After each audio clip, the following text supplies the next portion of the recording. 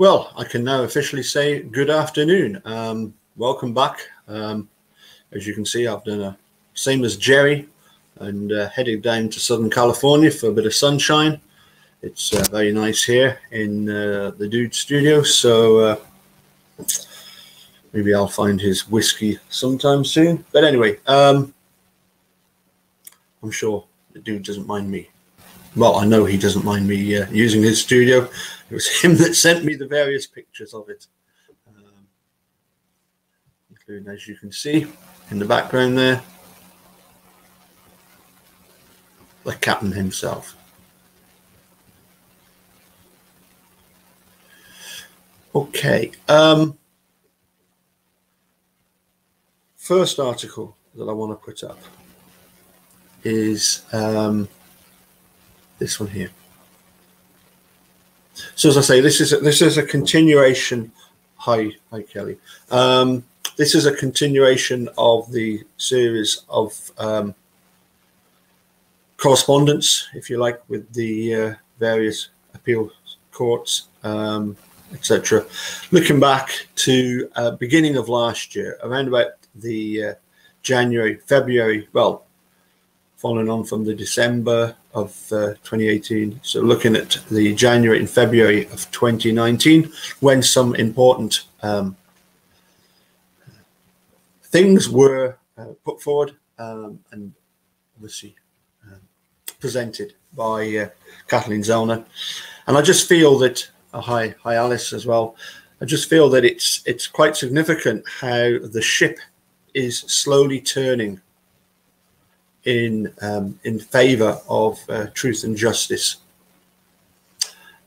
So first of all, um, here, by, by the way, the obviously the thumbnail is Hi Millbilly.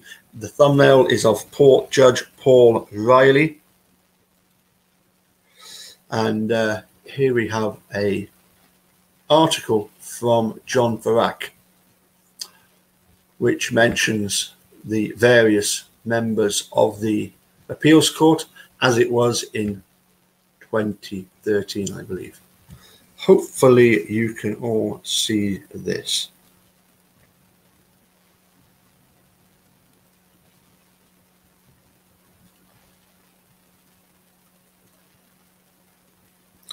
Let's uh, just make sure, as usual, everything's working as it should do.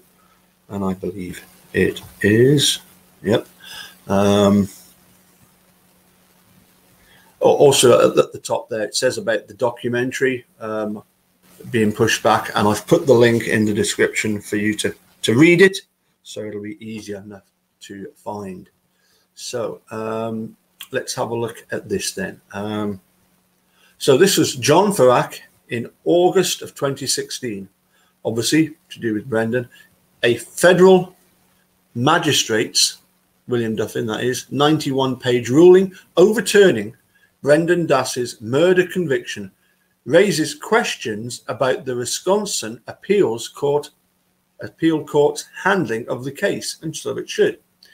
In January of 2013, obviously before making a murder came out, Wisconsin's Court of Appeals District 2, which is where Kathleen Zellner is at the moment with the case, upheld Brendan's March 2006 confession to uh, Bert and Ernie, um, and Fassbender in connection with the November 2005 death of Teresa.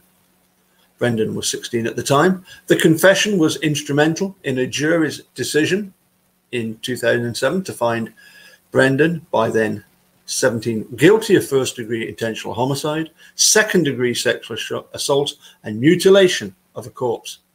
Manitowoc County Circuit Judge Jerome Fox, who presided over Dassey's trial, sentenced Dassey to life in prison. Um, now, obviously, we know that in 2010, yeah, Brendan, uh, with the help either, either nine or 10, um, but anyway, before 2013, obviously, um, Steve and Laura got on board Brendan's case and uh, appealed to uh, Judge Fox, and it went back to the uh, Manitowoc Court the circuit court, and then obviously was appealed up to the Wisconsin Court of Appeals, District 2. And of course, we hear, don't we, even in Making a Murder One, Laura talking about the, the fact that everybody has a habeas right to habeas corpus. So anyway, in 2013, Brendan's conviction was held was upheld by the Wisconsin Court of Appeals District 2, which consisted of one, Lisa S. Neubauer, Neubauer, who is obviously still there, but um, she tried to get to the Wisconsin Supreme Court, uh, but was beaten in the election by Brian Hagedorn. Um, so Lisa Neubauer, a lawyer with Foley and Lardner from 1989 until 2007, when she joined the appeals court. Paul F. Reilly, the one that's looking at the case now, who had been the city attorney in New Berlin from 1997 until 2002. He was a circuit court judge in Waukesha County from 03 to 10 before joining the Court of Appeals.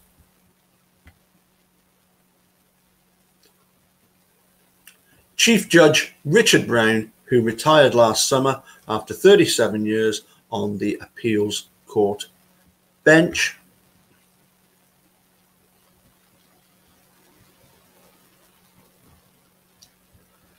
The Court of Appeals District 2 consists of Calumet, Fond du Lac, Green Lake, Kenosha, Manitowoc, Ozaukee, Racine, Sheboygan, Walworth, Washington, Waukesha, and Winnebago counties. Here are some key distinctions in the Wisconsin Appeals Court's ruling and last Friday's decision by U.S. District Court Magistrate Judge William Duffin that overturned Dassey's conviction on the question of ineffective legal assistance by Dassey's first lawyer, public defendant Len Kachinsky. The Court of Appeals in January 13, 2013, said that Dassey contends that Kachinsky rendered ineffective assistance due to an actual conflict of interest that so breached the fundamental duty of loyalty owed him that under Cuyler versus Sullivan and its progeny, prejudice can be presumed. We disagree. Dassey draws no viable link between Kachinsky's actions and any demonstrable detriment to him. Kachinsky was long gone before Dassey's trials, trial or sentencing. Dassey has not convinced us that Kachinsky's actions amounted to an actual conflict and that Kachinsky's advocacy was adversely affected, such as it was detrimental to Dassey's interests. So clearly, at the moment, they're just rubber stamping. Back in 2013, they do not want to rock the boat. Well, as we know, the boat has been well and truly rocked and is heading in a completely different direction. But we will just carry on with the next bit, of course, because this is important. Whereas Duffin, on August 12, 2016, although it probably does not need to be stated, it will be. Kachinsky's conduct was inexcusable, both tactically and ethically. It is one thing for an attorney to point out to a client how deep a hole the client is in, but to assist the prosecution in digging that hole deeper is an affront to the principles of justice that underlie a defense attorney's vital role in the adversarial system. That said, Dassey's attempt to characterize Kachinsky's misconduct as a conflict of interest under Sullivan is misplaced. And, I, and I'm sure that we've discussed this with Tracy before, but she'll probably need to explain it to me again uh, when I have a chat with Tracy Keogh over the weekend. Uh, we're scheduled for, I think, one o'clock my time, which would be 10 o'clock Tracy's time. But I'm actually, um, Tracy Keogh, I'm actually finishing a bit sooner. So if, um, if we can get it started a bit sooner, then we will do. Um, Secondly, although Kachinsky's misconduct is indefensible, the United States Supreme Court has never accepted arguments such as those Dassey makes here as a basis for relief under Cuyler versus Sutherland. Sullivan. Therefore, federal law prohibits the court from granting Dassey habeas release on the first claim he presented to this court. Okay, I think that's that's enough of that. Um, I say I I don't take too much of well, yeah, I do take issue with the fact that they're just rubber stamping what Fox um, had already said. Um, but are we are we that surprised? Um, maybe not. Although um, you would like to think that you know surely Reilly Neubauer and the other fella, you know, they saw what uh, Duffin saw. Anyway, as I say, it does the the tide is definitely turning. Let's have a look now at.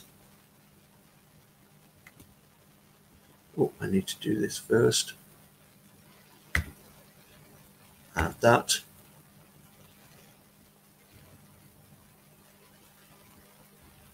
So here, now I'm not going to read through the state's response because it is utter garbage and we all know it's garbage and we can see that it's garbage by the response by both. We've got here um, Steve's reply through um, Kathleen Zellner to the state's response to the motion for the uh, for the remanding the case back to the circuit court because of the bones issues. And we've also got the decision. So let's have a look at the uh, this was February the 1st, 2019. State of Wisconsin, Court of Appeals District 2. So this is Kathleen Zellner writing once again, basically to Paul Reilly. State of Wisconsin versus Steven Avery. Defendant appellant's reply to the state's response in opposition to Steve's motion to stay the appeal and remand the cause to the circuit court. Now comes defendant appellant Steven Avery through his attorneys Kathleen T. Zellner and Stephen G. Richards, and for his reply to the state's response in opposition to his motion to stay the appeal and remand the cause to the circuit court states. States as follows. Introduction. And I don't think that Kathleen Zellner is really mincing her words very much here. The state's response conveys an attitude of impunity for its past actions, of withholding exculpatory evidence, and its current action of continuing the concealment of the destruction of potentially exculpatory or useful evidence. When the state disclosed a CD of violent porn from the Dassey Janda computer 12 years after the CD was created and concealed from prior counsel. The state argued, as it does now, that Mr. Avery was attempting to add new material to his 97406 motion. This court did not accept that disingenuous response then, and it should not now accept the state's current disingenuous response, which echoes the same argument. The state wants this court to overlook the undisputed fact that two weeks ago, on December 28, 2018, when it filed its response to Mr. Avery's request, for new DNA testing of the bones from the Manitowoc gravel pit, it never once admitted or disclosed that it had given the bones back to the Halbach family in 20, 2011 without notice to Mr. Avery or his counsel. I'm not sure about the two weeks ago on December 28th. It's maybe, maybe yeah, that's, I'm not sure about that. But yeah, when it filed its response to Mr. Avery's request for new DNA testing of the bones from the Manitowoc gravel pit, it never once admitted or disclosed that it had given the bones back to the Halbachs. Plaintiff respondent's response in opposition to the petition to stay the appeal and remand this case to the Circuit Court, December 28, 2011, pages 1 to 8.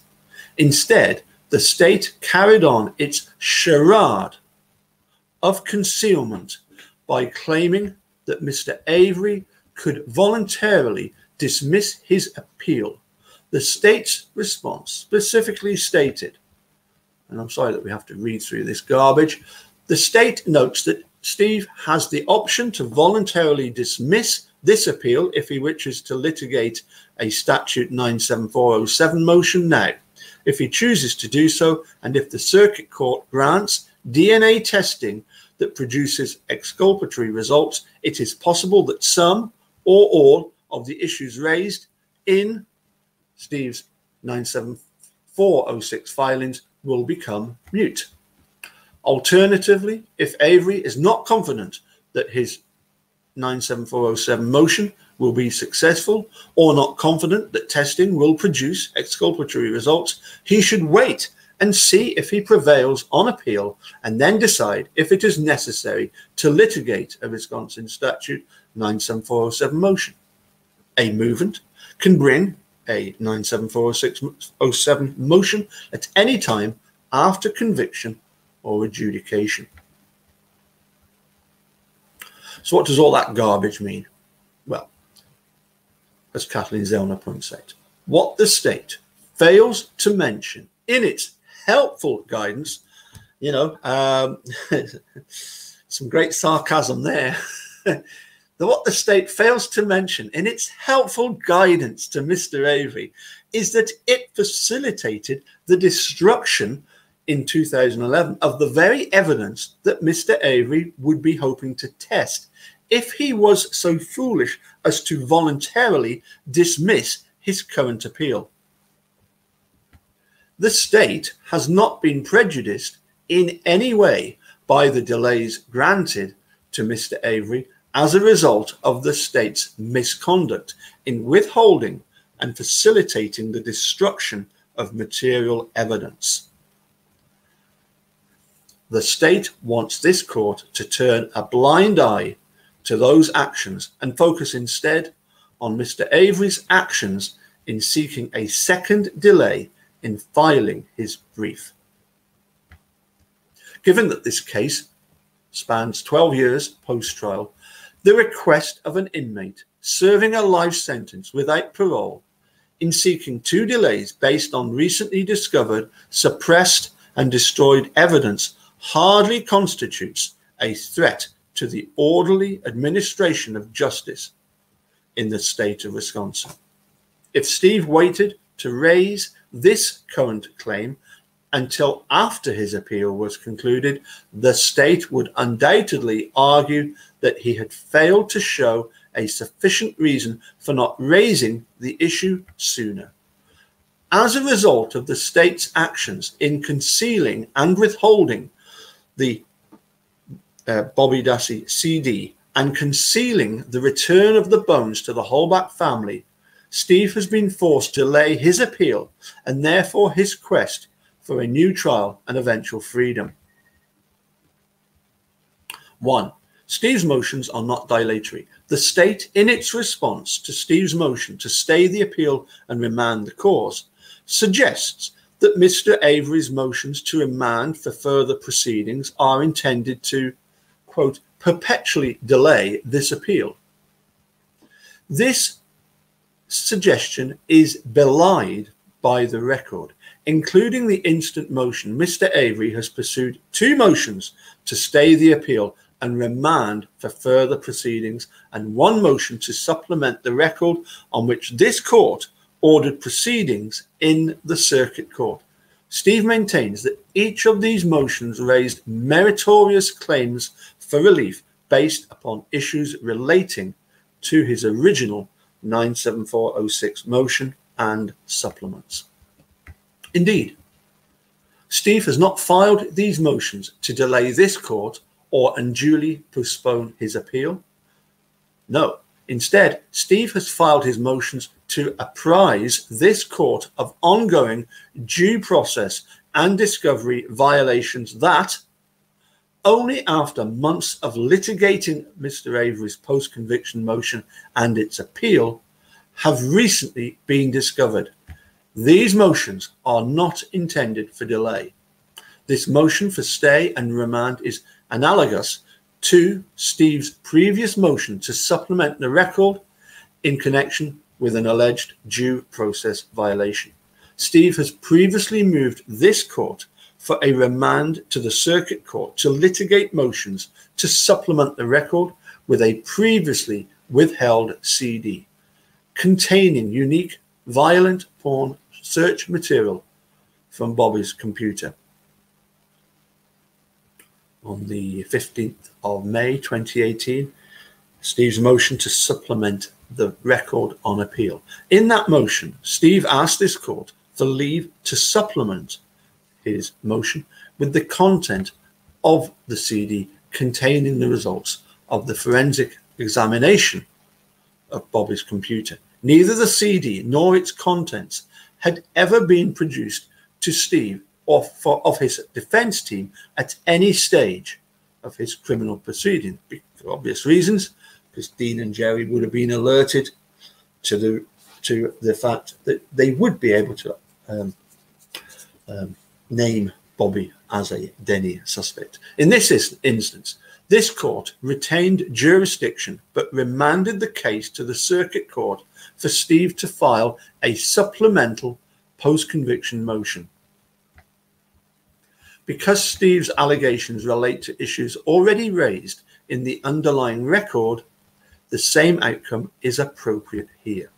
Because this court originally remanded for scientific testing so that test results could be included in Steve's 97406 motion, the state was on notice that Steve intended to test the suspected human pelvic bones recovered from the Manitowoc County gravel pit. Steve's 2015 appeal concluded on September the 8th, 2016, when this court remanded the case to the Circuit Court for post conviction scientific testing of evidence. And that's because, of course, Steve had already started an appeal in 2015. Um, and then September 8th was when, uh, by the time Kathleen had stepped in. Among the, among the evidence, Steve asked the Circuit Court to test were the suspected human pelvic bones collected in the Manitowoc County gravel pit under Calumet County property number 8675. Therefore, the state has been on notice that Mr. Avery wished to obtain the Manitowoc County gravel pit bones for several years. The state fails to acknowledge that Steve is appealing the circuit court's error in abusing its discretion in denying Steve's motion to vacate its October the 3rd, 2017 order, allowing order and allowing additional scientific testing. Moreover, the Manitowoc County gravel pit bones were a subject of the September 18, 2017 agreement wherein the parties agreed to further scientific testing. Thus, the state's claim that the instant motion is devoid of foundation in the record is specious. Steve has been petitioning the circuit court for court for testing of the Manitowoc County gravel pit bones for years. With such a foundation in the record on appeal, the, the state's response in opposition to Steve's motion should be laughed at for the pile of garbage that it is. The state should not benefit from concealing a report, failing to give notice, and facilitating the destruction of biological evidence. The state's opposition to Steve's motion is tantamount to asking this court to sanction a rule where prosecutor may hide, defendant must seek. Such a rule is not tenable in a system constitutionally bound to accord defendants due process. After all, the state, in its response to Steve's motion, makes no effort to deny the due process violations that Steve alleges, i.e., that the state concealed a police report, failed to give statutorily, statutorily, statutorily mandated notice to Steve and his attorneys, attorneys of its intent to destroy this biological evidence then facilitated the destruction of the same evidence. The state should not now reap the benefit of its past statutory and due process violations, such an outcome would contravene the sense of basic fairness inherent in our justice system. Conclusion. Wherefore, undersigned counsel respectfully requests that this court enter an order staying this appeal and remanding the cause to the circuit court for proceedings to determine whether the state has violated Youngblood versus Arizona. So, Paul Reilly, who, as you as we saw back in 2013, just went along with everybody else is the one that in February 25th, 2019, he writes to the very dishon- dishonorable Angela Suck at this, um, Lynn at the uh, Circuit Court, the Assistant Attorney General, of course, Lisa Kumfer, who was taken over from uh, Fallon, the current district attorney of Manitowoc, who is Jacqueline LaBre, obviously Steve Richards, of, uh, who's with uh, Kathleen Zellner, um, Tiffany Winter, who is Lisa Kumfer's assistant. So Kumfer and Winter are the ones writing the garbage at the moment, and Kathleen. You are hereby notified that the court has entered the following order State of Wisconsin versus Steve before P.J. Reilly. Steve, by counsel, appeals from this circuit court's denial of his Wisconsin statute 97406 post conviction motions. He moves this court to stay the appeal and remand to the circuit court so that he may raise new claims premised on the recent discovery of a previously undisclosed police report dated September the 20th, 2011, which, according to Steve's appellate counsel, reflects law enforcement's transfer of multiple suspected human bones from the Manitowoc County gravel pit to the Whiting Funeral Home, for return to Teresa Halbach's family. He's straight in there, isn't he, this time? Steve alleges that the state violated its statutory duty to preserve evidence. See Wisconsin Statute 968205. Yep, we've looked at that. And that the state's actions violated Steve's constitutional due process rights, Youngblood rights. The state has filed a, an objection to Steve's remand motion on the ground that it constitutes a new and separate action which is unrelated to the orders. Steve presently appeals is unnecessary to the resolution of his pending appeal and would result in unnecessary delay and litigation. The state's objection points out that this is, in effect, Avery's third remand request. The state's objection does not address the merits of Steve's claimed statutory and constitutional violations, and it has not responded to Steve's supplemental filings alleging the destruction, possible destruction of evidentiary items which, it appears, the parties previously agreed to preserve. The state suggests that the appeal, the appeal is languishing and that if Steve wishes to pursue new claims outside the scope of Statute 97406 post conviction orders presently on appeal, he could dismiss the pending appeal or wait until its conclusion to file his new claims. As to the former, Avery understandably disagrees, aware that dismissing this appeal will preclude re- review of the underlying orders entered to date. Having considered the parties' submissions, we determined that the best course of action is to grant Steve's motion to stay the appeal and to remand under the Wisconsin statute 808075 for action upon specific issues. As the state's response acknowledges, the decision to remand is left to this court's discretion. Though we are not required to remand, we determine that this procedure strikes an appropriate balance given the specific circumstances of this case. Due to this case's extensive history, there is a benefit to having existing claims developed or litigated while they are relatively fresh rather than positioning these claims to be procedurally, procedurally barred in a future proceeding. For these reasons, we desire a ruling on the merits so that all claims to date can be considered in a single appeal. The briefing in this appeal has not commenced. There appears to be some potential overlap between the old and new issues. Therefore,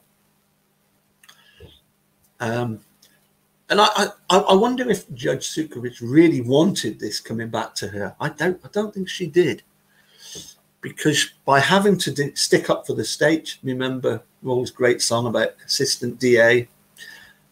It's it's really dragged her into this, and people can see the corruption that she is involved with. It is ordered that this appeal is remanded forthwith to Judge Sutkiewicz to permit Steve to pursue a supplemental post conviction motion raising claims for relief in connection with the state's violation of 968205 and Youngblood. It is further ordered that any supplemental post conviction motion shall be filed in the Circuit Court within 14 days. It is further ordered that the Circuit Court shall conduct any proceedings necessary to address the claims raised in the supplemental post conviction motion and shall enter an order containing its findings and conclusions. It is further ordered that if a party intends to order a transcript of any post remand hearing, the party shall do so within 10 days after the Circuit Court enters its order deciding the supplemental post conviction motion. The ordering party shall file a statement on transcript.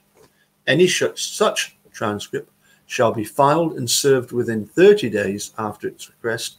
The ordering party shall provide the court reporter with a copy of this order. It is further ordered that the circuit court clerk shall retransmit the record to this court within 20 days after the later of the entry of the circuit court order deciding the supplemental post conviction motion or the filing of any post remand hearing transcript if ordered.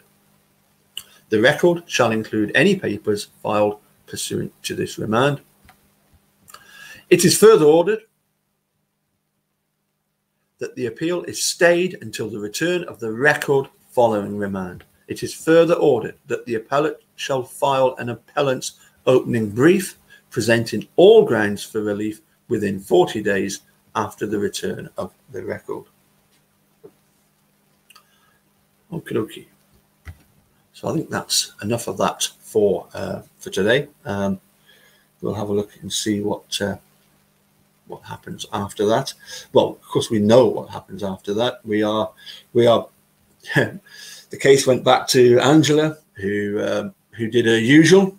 No surprise there, and so it's back before Judge Reilly.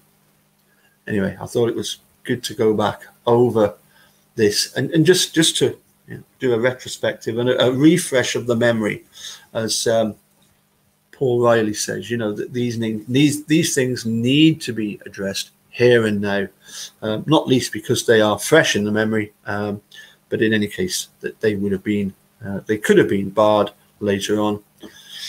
And of course, we get the uh, the state claiming procedural bar, procedural bar, procedural bar, and Kathleen retaliates quite rightly with exactly the same, but it's called estoppel.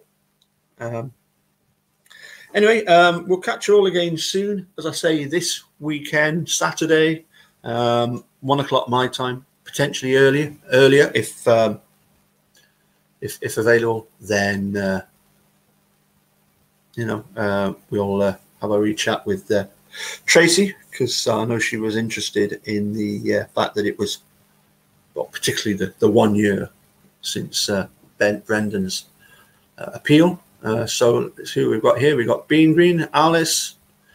And you've got Silkman. Yes, the state had had all the. Let's pop that up. Yeah.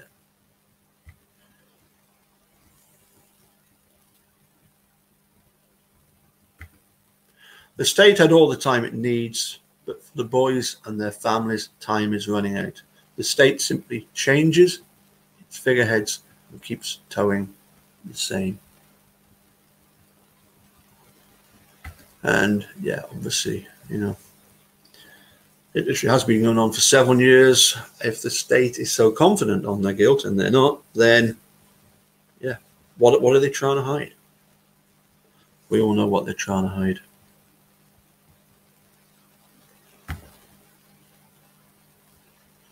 If they're waiting for Shawn Rech to come out with his documentary and that's going to make make any any great difference, I doubt it. Alice, Kelly, hi. Alice. Yep, I think I think we've got you all. Oh, Mel Billy's still here. T1, yeah.